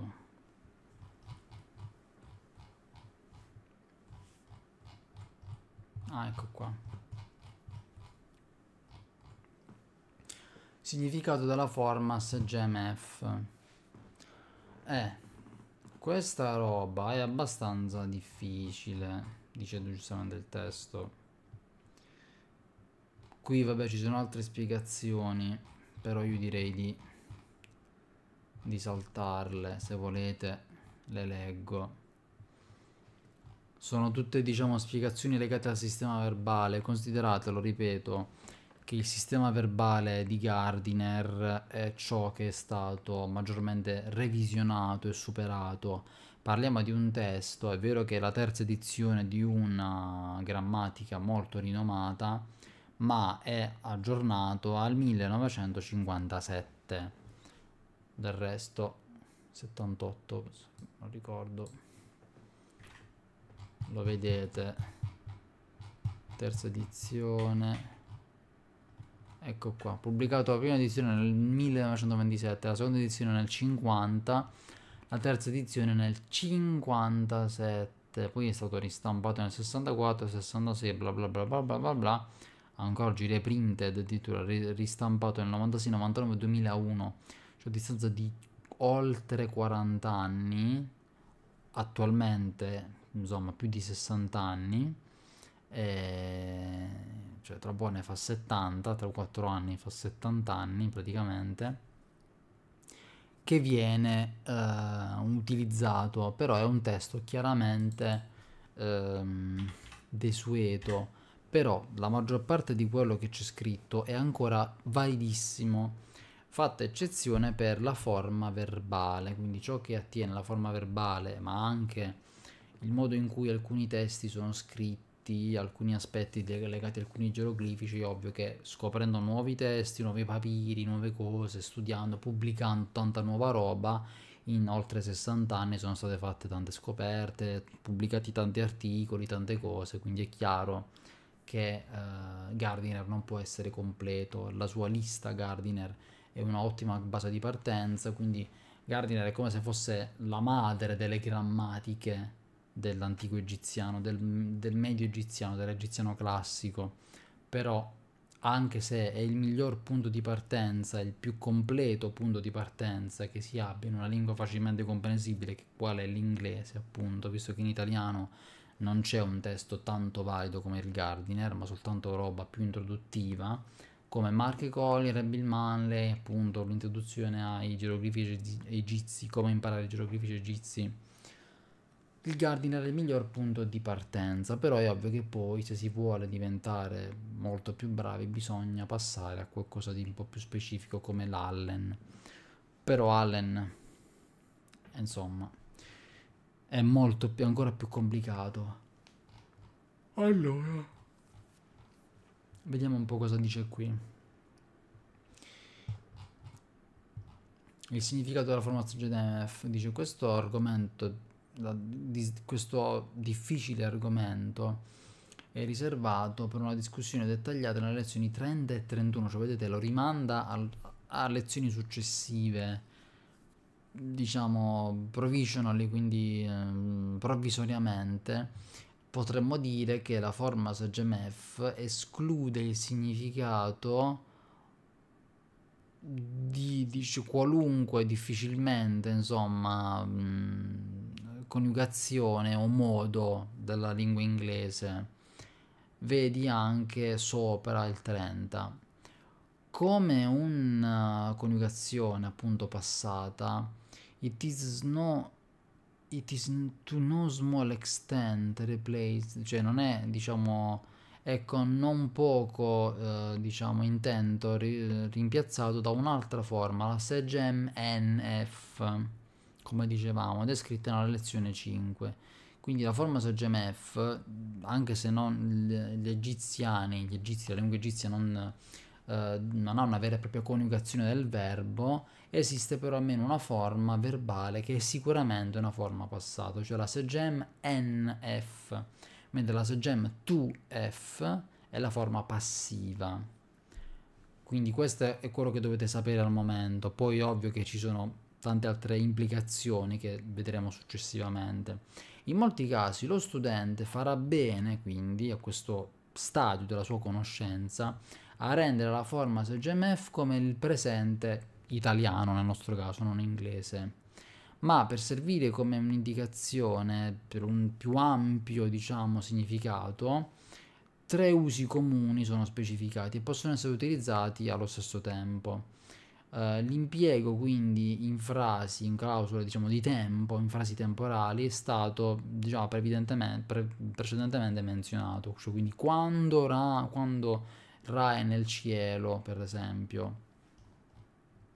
La forma SGMF è spesso usata senza una particella introduttiva nel rendere l'equivalente di una diciamo clause of purpose, cioè una chiave di una frase uh, causale, credo, inglese. Vedi sotto. Per esempio, hub sesh jed f seher ec. Cioè tu sendes, cioè mandi lo scriba che può aver detto il suo piano. Vabbè, non ho capito cosa voglia dire in realtà. Ah, nel senso de- that forse, il che, frase relativa o una frase causale. Non c'è il che, ovviamente. Qui a lui ha messo una virgola nella traslitterazione, però lo mettiamo noi that. hab ek sesh, cioè hai mandato, hab significa inviare, mandare, mandi tu, ek tu uomo, hab ek sesh, uno scriba. Quindi tu mandi o tu hai mandato uno scriba. Hab, hab, con il determinativo delle gambine, ek, quindi tu, quindi mandi tu, sesh, ed è la prima frase. Hai mandato, tu hai mandato uno scriba, tu mandi uno scriba. Poi c'è Jess F, Seher Ek. Jed, chiedo scusa, Jed, eh, è troppo piccolo. Jed F, cioè dice lui, lui uomo, Jed F, Seher Ek, il tuo consiglio. Quindi potrebbe essere tu hai mandato uno scriba che egli mei sei. È una cosa un po' strana, cioè una sorta di frase relativa. Tu hai mandato tu lo scriba, dice lui, Jedef, lui dice il tuo consiglio, Seher Ek.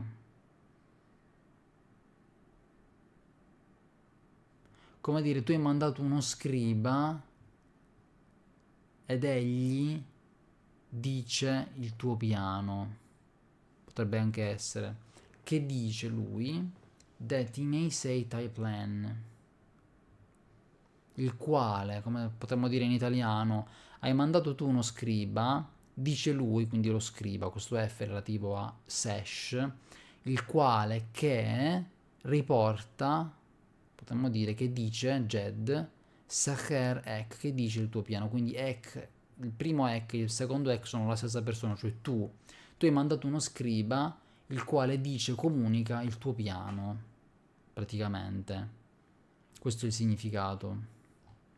È un esempio del fatto che non ci sono delle particelle che in, tra una frase principale e una subordinata che in, potrebbero intendere far capire una causale, una temporale, eccetera, eccetera.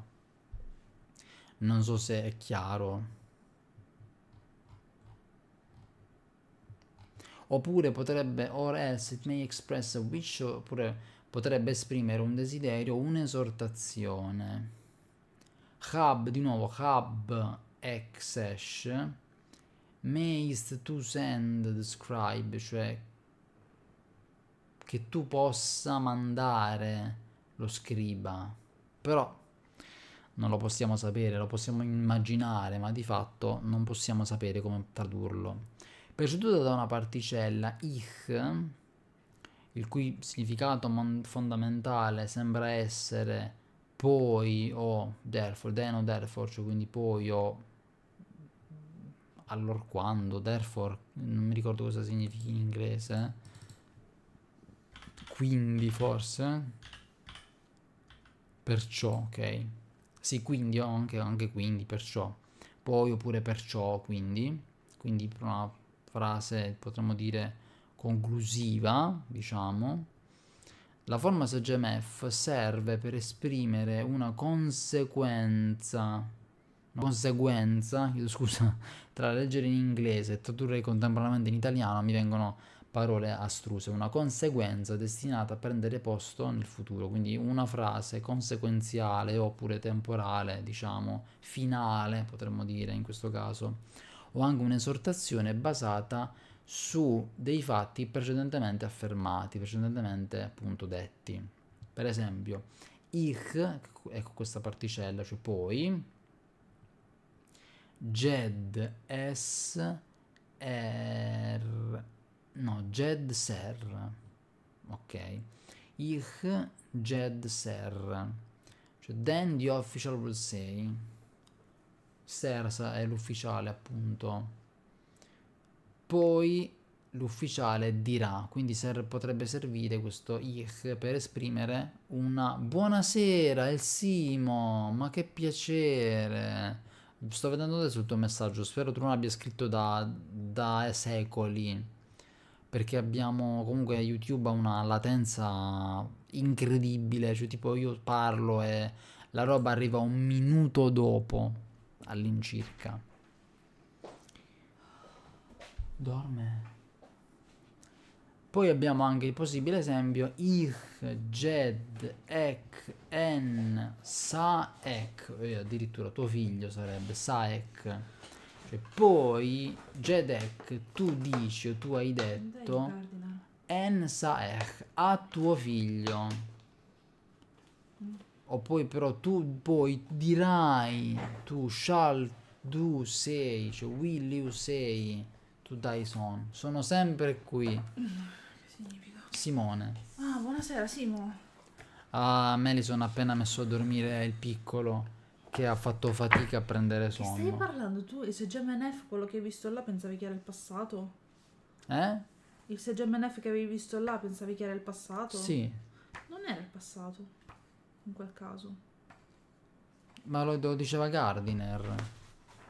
Il SGMNF sì, è il passato, però c'è una forma tipo riflessiva che utilizza la N. Eh, ma E io, allora, il- i verbi, i- questi qua fatti sì, io sto leggendo quello che dice Gardiner. Eh. Sì, però... E ho anche ma- detto la forma verbale di Gardiner è stata comunque superata. Esatto, Però lui spiega che di base la forma SGMF viene resa al presente. generalmente con il presente oppure con frasi temporali o causali. Poi c'è la forma SGM 2F che è la forma riflessiva, o meglio la forma passiva. La forma passiva. Come va Simo, visto che ci troviamo? Come, come ti butto? Come te la passi? Come va con l'accademia? Hai iniziato a, a seguire i corsi in presenza? Mi pare che lui avesse detto che da, da ottobre, da novembre, tipo, ne Ah, avrebbe il, il jazz, iniziato... hai parlato del jazz? De che? Myself, Sì. me stesso. Sì, sì, jazz. sì, sì. No, siccome sono un po' stanco, mm, mi fai le domande così a due piedi non ti so rispondere, anche se sono cose che ho detto 20 minuti fa. Messer Simo, che, mi, che cosa, cosa ci racconta di bello? Comunque tra... Non so se vuoi far vedere la, la lezione, vuoi provare a tradurre qualcosa. Sì, se mi dai un attimino. Gardiner dice un mucchio, un mucchio di cose anche interessanti. Stavo vedendo il, il fatto che non ci sono delle legature tra una frase e l'altra e quindi le mettiamo noi, tipo il che, le frasi causali, no? Qui abbiamo il Ah, la vocabolario. emo predication in qualità di... Te la ricordi questa cosa? L'hai letta questa? No, l'ho un po' saltata perché mi stavo impelagando in un, Eh, no, questo è in importante. un discorso abbastanza complicato. È importante, eh? Dillo tu. La- quindi Dario non vi ha parlato della M of Eh, predication, no, cioè eh, io già, già sono stanco e ho sonno. Poi comunque ho letto una roba molto pregnante. Quindi poi ho, saltato un attimino per andare a Adesso vedere la SGMF. la se- vabbè, non, non andare direttamente alle cose complesse, fai le cose semplici, perché qua siamo ancora alle fasi iniziali. Eh, ma infatti io ho detto, cara mia, che mi meraviglio del fatto che Gardiner abbia, cioè questa viene, ah, hai detto questo, non hai detto E beh, quello. ma se già me- eh, la M of predication è molto importante. Eh, ho capito, però visto che eri alla pagina di dopo pensavo l'avessi detto tu. No, perché non ho avuto tempo di dire niente perché quello mi chiamava. Ah no, io ero alla pagina di dopo. allora, quindi- praticamente la M of predication, praticamente abbiamo... Tutto bene, ho finito gli esami, ho iniziato le lezioni dal vivo, poi con calma ne parliamo. Eh sì. Eh, volentieri comunque. Allora, stavo dicendo, eh, abbiamo studiato che M nella lezione numero uno significa, è un moto al luogo a, Eh sì, è una preposizione. è nel cielo, comunque. non nel moto al luogo, scusa, è stato in luogo. È stato sto- in luogo. Eh, Però in alcuni casi viene utilizzato, per esempio in questa frase, IUEC M sesh. Tu sei uno, uno scriba, ma qui tu sei in qualità di scriba. Quindi sì. quando trovate questa M, si chiama M della È predicazione. come se fosse letteralmente. IUEC, cioè sei tu in qualità in scriba. in scriba, come dire sei in qualità, però lo Sì. possiamo tradurre tu sei come uno scriba, as a Sì. scribe. In Però- qualità di, diciamo in Esatto, italiano. in qualità di scriba. Anche qua abbiamo io, eh, Neges, io, Neges, Pen, Pover'uomo M, sarebbe. Sesh. This commoner is a scribe. Questa persona comune è uno scriba. Eh, Sì, sarebbe e io è quindi Neges, il Mhm. pover'uomo Pen, questo, questo pover'uomo in qualità di scriba. Ok, la SGMF form. Questo l'ho tutto fatto. Sì, può- tranquillamente si può dire consideratela come la forma presente del E verbo. questo l'ho fatto, io pensavo che avessi già fatto fino a quel Sì, momento. ma non, non ti concentrare molto sui verbi perché, la- come già detto, la forma del verbo è superata, quindi non, il pronome indefinito, il tutto, jed, tu F, tutto fatto, Jed, fatto- aspetta. sono stato mezz'ora to roba. F, il tu, sì, jed to, jed to, jed to and say, madonna mia. È una forma passiva. Esatto, non tu sei vuoi de- ascoltato, jed esatto. tu, sei, tu sei one says, uno dice, oppure se gem to F, Tu sei ascoltato. tu sei Egli è ascoltato. ascoltato. Mm-mm. F. È la Le forma fa- passiva. Questo praticamente. tutto fatto. Sì, eh, io sto anche vedendo un po' per me stessa. Eh sì. One hears, oppure come dire uno sente. Non ok. ascolta, sì. Vabbè, la Significato della SGMF. forma SGMF l'ho, l'ho fatta. Esatto, sì, SGM off, eh, vabbè, Tutto, bla bla bla, tutto, tutto fatto. Allora, praticamente mancavano soltanto quelle piccole cose. Allora, come vocabolario oggi, in realtà sono già le 11.10, secondo me lo facciamo la settimana prossima sta cosa. Eh, direi di sì. perché Abbiamo fatto comunque una roba. Io vi consiglio per chi è arrivato, per chi ha avuto lo stomaco di arrivare fin qua, è stata abbastanza Metti complicata. la versione- Per chi ha avuto il, la um, versione- l'intestino di giungere fin qui, ehm, io consiglierei, e consiglio quasi a me stesso in realtà, perché sono concetti, noi vabbè non ci vergogniamo di dirlo, sono concetti che noi conosciamo, ma in realtà non abbiamo riletto più volte il Gardiner in queste frasi. Significa che sono concetti che generalmente conosciamo. Infatti ho letto, sono riuscito anche senza troppe difficoltà a leggere le frasi che abbiamo visto, le brevi frasi. Però quando poi le vai a rileggere, a riguardare per come le spiega il Gardiner, avendo anche fatto delle traduzioni do hast heard, cioè queste cose in, in inglese arcaico, eh, non è che sia facilissimo capirle subito. E io ci ho messo qualche secondo in più, quindi a, a, a ricapirle, tra virgolette, e quindi a spiegarle al pubblico, per cui arrivo al punto, vi consiglio di andarvele a, a riguard- di andarvi a riguardare questa parte della live, la parte diciamo un po' più pregnante, con il testo sotto. Passateci un po' di minuti, cioè rifletteteci un po' su quello che dice Gardiner, anche se Gardiner stranamente, ripeto, lo dicevo prima, mi meraviglio che abbia messo la forma SGMF nella terza lezione, seconda lezione. Allora, lui l'ha messa. L'ha anticipato, infatti dirà, poi ne parliamo nelle lezioni 30-31. Sì, però lui l'ha messa per farti capire, per poterti dare la possibilità di iniziare a tradurre le frasi con i verbi. E questo sono Questo è d'accordo. giusto. Però ha detto un po' troppe cose, ha messo mille carne al fuoco, Beh, forma passiva, non, forma... mi sono trovata a non... Sì, che ha messo troppe cose come la forma passiva, la forma riflessiva. Sì, però te le ha date giusto. Come dire che ti ha lanciato il sasso, ha fatto increspare le onde, ti ha un attimo confuso e poi ti ha detto, eh ma tanto poi ne parlerò meglio. Però è un testo specialistico, comunque una grammatica di una lingua antica ci può stare che ti fa un po' uno spiegone, che ti, ti dà un macigno sulla schiena, però poi ti dice hai in alto le mani, insomma fermi tutti, vedete che comunque poi verrà spiegato meglio. Mm-mm. Ma ripeto, è bene studiare, l'ho già detto prima, il Gardiner è il miglior punto di partenza come grammatica, diciamo, intelligibile in una lingua che non sia l'italiano, ma che comunque l'inglese che bene o male tutti studiano, poi alla, alla peggio c'è Google Translate, è il miglior punto di partenza come grammatica più completa, però poi dovete passare per il sistema verbale ad Allen o a Borghaus, diciamo. Poi se siete francesi ci sono anche delle grammatiche in francese, oppure vabbè italiano, in realtà non c'è niente di così tanto completo come Allen o Borghaus, di fatto. Allen Borca- vabbè, Gardiner, purtroppo dovrebbe essere un po' aggiornato Allen. Eh, Eh, Gardiner, sì. scusatemi signori, stare col bambino a farlo addormentare. Gardiner is the best, Gardiner è il migliore, c'è Come forma di insegnamento sì è il migliore. Come approccio, l'approccio è il migliore in assoluto. Però nessuno ha mai pensato di riscrivere il Gardiner, cioè tradurlo e riscriverlo, perché ovviamente dovresti ogni volta andare a fare attenzione e dire "Eh, ma sta forma qui, questo che dice è stato superato, andiamo a controllare. Ecco perché chi studia, cioè chi crea le, le Sì, grammatiche perché è più facile fare copia e incolla dalle altre grammatiche. lo fa da zero. Sì, vabbè, Allen, aspetta, Allen non ha fatto copia e incolla, è una terza edizione anche la sua.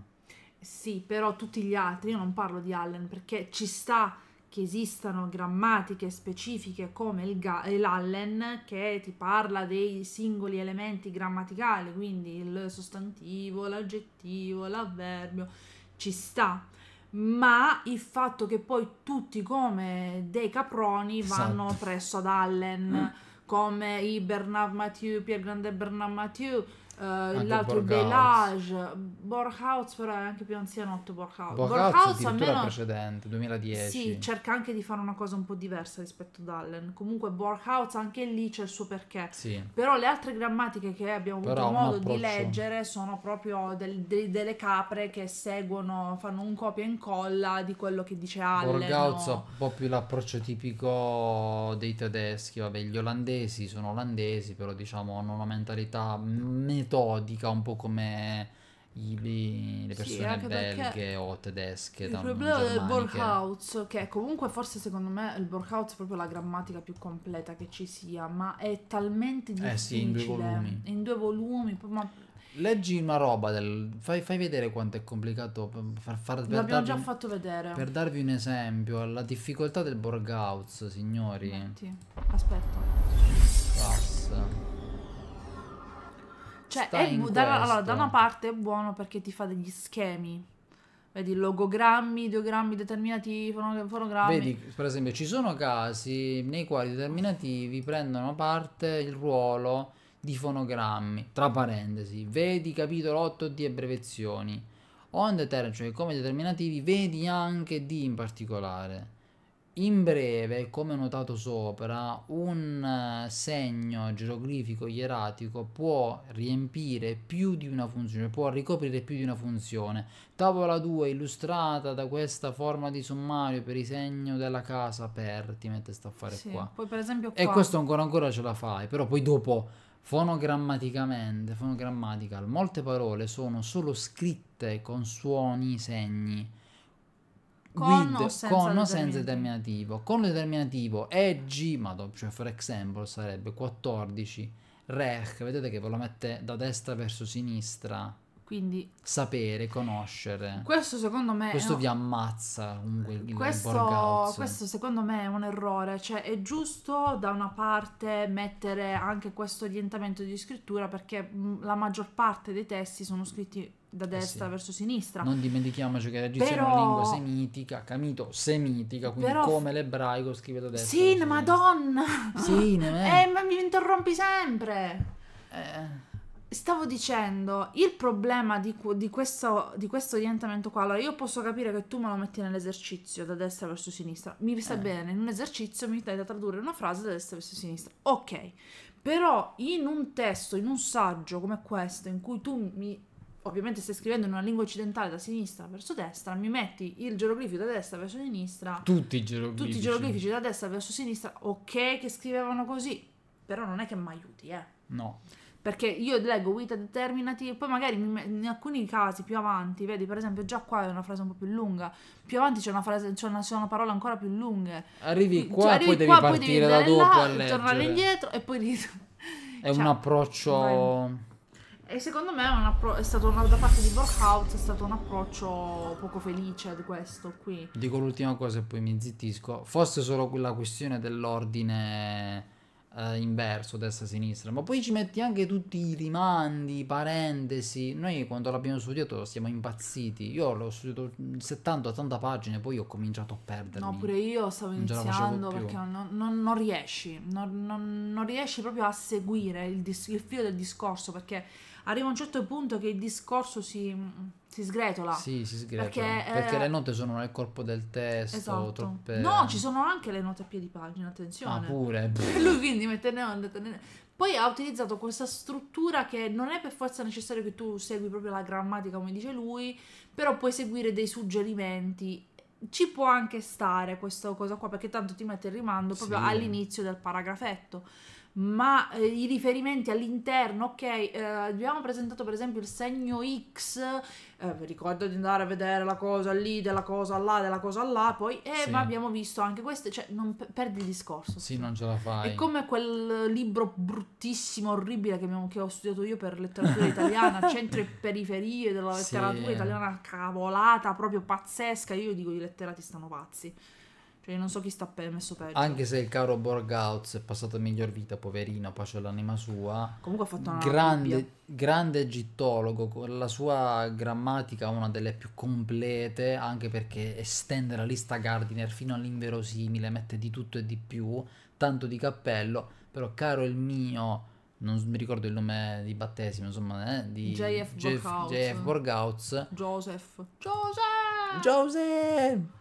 Caro il mio Borgauz, però JF, non, non- Potevi- riordinare meglio questa tua grammatica, cioè hai fatto un, un testo importantissimo, però un- è un po' la parte diciamo pregnante, un po' una Poteva cozzaglia. essere, secondo Io mi domando me- cosa avesse, che ordine avesse nella testa quest'uomo, non lo so. Cioè, ah, poteva rendere la sua grammatica un degno, una degna success- un degno successore, Sì. mantengo il maschile, un degno successore del Gardiner, ma purtroppo non è così, anzi è forse il peggio del peggio è diventato alla fine. Cioè, devi studiarlo veramente con l'evidenziatore, evidenziare la frase. I contenuti sono ottimi, però è proprio la forma che è peccaminosa ed è un peccato. Il nostro il, il- il direttore del museo egizio ci raccomandava di studiare il Borgauz, infatti noi proprio per seguire lui, anche quando abbiamo studiato in Olanda, abbiamo reperito e recuperato il Borgauz, sono contento di averlo in, in sì, libreria, no. assolutamente. Però là ci si deve mettere con la sacrosanta pazienza, prendere l'evidenziatore e evidenziare proprio la frase compiuta, capito? E in quel caso dovremmo fotocopiarcelo perché sennò distruggi il Eh, libro. vabbè, sc- stampi questa fotocopia che Eh sì, eh sì, sì, sì, noi abbiamo comunque le- abbiamo i libri in originale, ma abbiamo anche i PDF perché così ci siamo infatti stampati a nostra volta eh, Allen e- Gardner per poterli pasticciare. Mm-mm. Va bene, signori, abbiamo detto di tutto e di più. Ehm, niente. Devo far dormire tuo figlio, mi ha proprio dato il colpo di grazia. Eh, lo so, vi consigliamo di andare a riguardare la parte centrale di questa live per vedere gli argomenti. La prossima volta, settimana, prossima, prossima ci dedichiamo più direttamente a- al vocabolario della lezione numero 3, alla traduzione delle varie frasi, quindi sarà più una roba di eserciziario, più pratica. Stavolta è stata una, una live un Che po' troppo teorica. È, Nata- è superato il Natale. No, comunque... Io sono in vacanza tra due settimane. Se c'è vacanza. Vabbè. No, eh, perché, scusa? È vero che... eh, vabbè, sì, eh, son- Sì. non c'è bisogno di, di dilungarci. Scusatemi. La nostra Mason è stanca. Ah, Dicevo, comunque, stavolta sei tu che hai interrotto me. La hai visto live... quanto è bello? Eh, la live della settimana prossima sarà un po' più pratica, questa invece è stata molto teorica, eh, però insomma Faremo un veloce recap di quello che è stato fatto nella lezione 3. farai un veloce recap. Sì, penso che lo farò io, ovviamente. Meno male che mi- non mi devo occupare io di questo canale. Eh, vabbè. E farò io un veloce recap, magari inizierò già a preparare la live perché sennò capita come oggi, eh, ho fatto tutto la miniatura, non l'ho caricata. Ho preparato Ah. la live con la miniatura della settimana scorsa. Davvero? Ma eh, vabbè, dai. No, poi l'ho cambiata mentre Ah, stavo facendo ok. il countdown. Ok, vabbè, dai, ma ci sta, ci sta, ci sta. Sì, mm. no, sì. Siamo anche sotto le feste, insomma, signori. Un po' quello. Un po' lunedì mi sono ammazzata a fare la grafica. Eh, va bene, canale. dai, non dilunghiamoci oltre. Direi che ia bollato, signor giudice. Così, tanto per, sono stanco anch'io. Ho due settimane di tempo Una live molto teorica, la prossima sarà più pratica, datevela a riguardare. Ringraziamo tutti, ringraziamo Claudio, ringraziamo Davide, ringraziamo chiunque altro sia passato perché a un certo punto sono arrivate delle persone solo che mi hanno beccato che erano venuto di là che il bambino era vabbè. Devo mettere l'inter... l'interquel. Eh sì, ci vuole il C'è, c'è, la live riprenderà il più presto possibile per la serie tin tin tin tin tin, no, le ce l'ho, ce l'ho la- riprenderanno. La schermata ce l'ho. Eh, niente. Ci vediamo giovedì prossimo, signori, ringraziamo tutti, vi auguriamo una buona notte, buon tutto, buon fine settimana. Mi sa che le live su Ehm. Twitch riprenderanno direttamente a gennaio. E niente, io... That's all folks per la serie. Mm.